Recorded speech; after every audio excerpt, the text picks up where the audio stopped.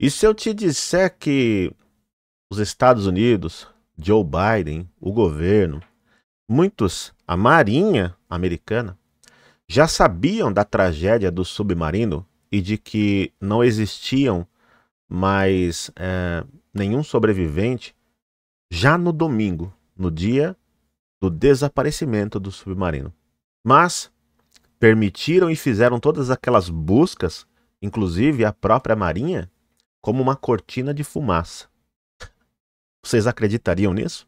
Bom, não sou eu que estou afirmando isso. São muitas pessoas importantes, inclusive uma grande jornalista da Fox News, o Wall Street Journal e também o próprio James Cameron. Vamos lá que eu quero te mostrar sobre isso aqui, a grande realidade. Então tudo não passou de uma busca falsa, esperanças falsas para todos, por exemplo, os familiares das pessoas que estavam ali dentro do submarino Titã. Isso é uma vergonha realmente, né, gente? Isso mostra como que são os políticos, como que são, na verdade, esses governos que não estão preocupados com a vida realmente, né? Eles estão preocupados é com né, a questão política, como se manter no poder, com os projetos políticos, etc. Qual foi a preocupação agora nesse caso, em tudo isso aqui sendo verdade, como aparentemente mostra que é? Com os familiares das pessoas, dando falsas esperanças, fazendo contagem regressiva. E a imprensa, eu vendo sites, né, até sites que eu acompanho, fazendo uma contagem regressiva. Faltam é, é, 24 horas para acabar o oxigênio, faltam 20 horas, faltam 18 horas, sabe? Fazendo uma contagem regressiva só para gerar aquele engajamento, aquela coisa toda, likes e etc., com a tragédia que aconteceu. Né? Então, é lógico, tem que noticiar, obviamente tem que noticiar as pessoas, os, os sites, os youtubers, todo mundo vive aí das visualizações, etc. Entendemos, é lógico. Nós precisamos aqui da visualização também. Mas existem algumas coisas que nós vemos na grande imprensa que realmente nos causam nojo, né? Porque ficou fazendo uma contagem regressiva para acabar o oxigênio do Titã, né? E aí a realidade é que a Marinha dos Estados Unidos, segundo a jornalista Miranda Devine e tantos outros, o Wall Street Journal, já sabiam desde o início o que tinha acontecido, que o submarino tinha implodido. E quando acontece essa implosão, gente, né? Ele vai para a, a, explosão. Vamos vou usar um linguajar aqui bem simples, né? Vai tudo para fora, né? Explode, assim, explodiu. É o que conhecemos. A implosão, ela é para dentro, né? Para o centro. Então as pessoas que estavam ali teve uma morte ali, vamos dizer, é, instantânea e indolor, né? Segundo os especialistas. Então deu tempo de nada, tá? Devido à grande pressão que sofreu ali o submarino. Dê aquele like, se inscreve no canal, ative as notificações para não perder os próximos vídeos, tá bom, gente? Pessoal do Facebook, compartilhe, siga a página aí. E deixe uma, a sua opinião, comente aqui. Você sabe quem recebeu um convite que deveria estar ali dentro desse... Algumas pessoas receberam convites, mas tem um especial agora foi revelado. Sabe aquele youtuber é, famosíssimo, MrBeast? Gente, o cara tem milhões e milhões e milhões e milhões de seguidores. Eu acho que é o maior youtuber que existe aí. É, e o trabalho dele assim é bem legal, realmente, ajuda muitas pessoas, é um negócio assim fenomenal. E ele recebeu um convite para estar no Titã, era para ele estar lá dentro, só que ele recusou. Bom, Miranda Divine. A administração Biden sabia que o submarino Titã implodiu no domingo. Então eles já sabiam. Mas, você deve pensar assim: esperou até hoje para torná-lo público, né? Até o dia que tornou público, até o último dia. Você deve perguntar, pô, mas por que, que eles fizeram isso? Bom, cortina de fumaça conveniente para o lançamento do chamado House Ways and Means de hoje, do testemunho do denunciante do IRS sobre a sabotagem do Departamento de Justiça americano na investigação de Hunter Biden.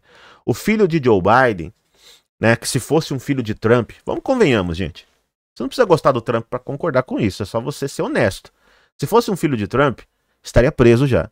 O filho de Hunter Biden, aquele laptop, né, é, chamado laptop do inferno e tal, ele provou ali várias práticas criminosas de Hunter Biden e até envolvendo o próprio Joe Biden, tá? Muita coisa, muito material ali. O que, que aconteceu? o FBI, o Departamento de Justiça, um monte de gente, tudo encobrindo, fora outros, é, outras práticas criminosas que eram para ser investigadas profundamente do Hunter Biden, que também não, que não estavam no laptop e que isso tudo vem sendo bloqueado pelos departamentos que deveriam investigar. O Trump estão tentando prender por causa de supostos documentos. Não, eram documentos sigilosos que estavam com ele, não era para estar. Tá. Mas o Hunter Biden, com toda a robustez de tantas coisas, tantas evidências, vamos chamar assim, né? Evidências de crimes, de coisa pesada, que pode envolver até criança. Ninguém fala nada, né? Tá tudo no laptop. Aí não tem investigação. Imagine se fosse um filho de Trump ou de um outro republicano, né? Que não, faz, que não fosse parte do Estado profundo. Essas são perguntas que devemos fazer. Bom, você pode ver, não é coisa da minha cabeça essa matéria, nem da, nem da moça que publicou ali, mas está no Wall Street Journal. Marinha dos Estados Unidos ouviu o que acreditava ser a implosão do Titã dias atrás. Então eles já sabiam. Microfones subaquáticos projetados para localizar submarinos inimigos detectaram pela primeira vez a tragédia do Titã logo no domingo. A matéria, né, ela é paga, mas tem aqui uma outra que eu não vou ler completamente, ó, tá tudo aqui, mas para você entender aqui só uma, uma questão, ó. Os sensores operados pelo, deixa eu dar um zoom aqui para você acompanhar comigo, ó. Pela a, a Marinha, né? Detectou a implosão do submersivo Titã. Olha, horas antes da Guarda Costeira americana publicar né, que é, eles tinham sumido. Então, horas antes da Guarda Costeira falar que, olha, o submersível, né, o submarino Titã sumiu, fazer a coletiva aqui, a Marinha Americana, segundo o Wall Street Journal, já sabia. Né? A revelação significa que os cinco dias de procuras então, o dinheiro gasto, a esperança falsa dada para os familiares, para o público, para as pessoas da empresa, etc., né? É, foi tudo o quê? Ele fala aqui, ó, fútil, né? Vamos dizer assim, tudo errado desde o início. Apenas uma cortina de fumaça, mentira desde o início. Porque a Marinha já sabia. A Marinha detectou uma anomalia consistente com uma implosão ou explosão. Ó, no sistema acústico, né, dos dados acústicos pegos é, pra, da área onde o Titã sumiu, né? Um aqui ó, um é, oficial sênior da Marinha disse à NPR, essa, esse site aqui, né, a empresa aqui de notícias NPR, num documento escrito, né? Bom, um segundo oficial confirmou para a NPR que eles re, sim registraram esses dados no domingo. Né? Esse dado eles chamam acústico, né? esse, esse som. Né? Então veja, a administração, lógico, foi informada de Joe Biden, a Marinha sabia, mas não fizeram nada. Ficaram nesse teatro todo, dando esperanças falsas, contagem regressiva, né? Enquanto o mundo se concentrou naquilo e esqueceu, por exemplo, Hunter Biden e outras coisas que estão acontecendo, como eu vou te mostrar aqui a última notícia, tá? Bomba, não houve buscas nenhumas. James Cameron disse que sabia desde o início que onde estava o submersível desaparecido. Aqui uma outra informação. Ó. James Cameron, que é o diretor lá do filme Titanic e tantos outros filmaços, né? James Cameron comentou as notícias sobre a implosão do submarino Titan e chocou com uma revelação. Afinal, o realizador que ficou conhecido pelo filme Titanic é, nega que tenham ocorrido buscas pelo submarino. Em primeiro lugar, o cineasta afirma que a Ocean Gate, empresa do Titan, não devia fazer o que estava fazendo.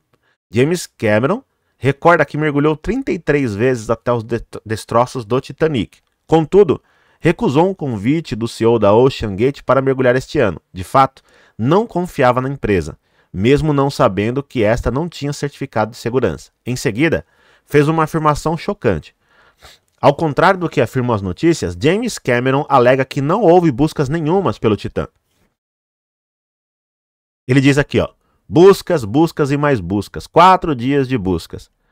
Estão a procurar em todo lado. O submersível é, estava exatamente abaixo do local de onde foi recebido o último sinal, diz, em primeiro lugar, James Cameron. Logo após, nega as notícias de missões de salvamento. Afinal, ele destaca que o primeiro local a investigar é onde foi recebido pela última vez um sinal. Não andam por aí a correr todo o espaço com barcos e aviões à procura. Ele estava exatamente no local onde implodiu e foi ali que encontraram. Olha aí, gente, né? Aí depois divulgaram, né? Ah, encontramos aqui os destroços quando, a, quando acabou, né, o, o oxigênio supostamente, né? Ele destaca: se o primeiro local a procurar é a última posição conhecida, e se ele estava ali, não houve buscas nenhuma.